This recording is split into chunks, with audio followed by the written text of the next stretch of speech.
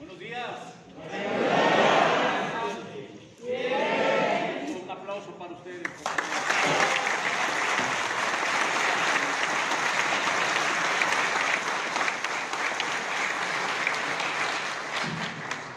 Señoras y señores, amigas y amigos, trabajadoras y trabajadores del Ayuntamiento, muy buenos días.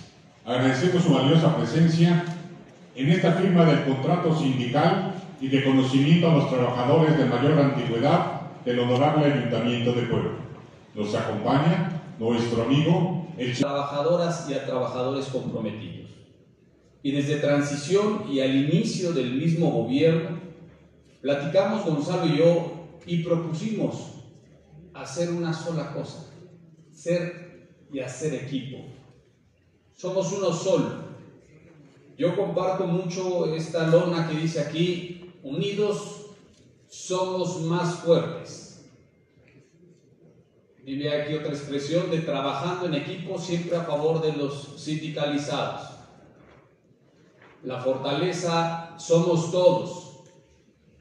Y creo que cada, una de estas expresiones tiene mucho de fondo, porque ustedes han venido realizando un trabajo muy importante desde hace muchos años.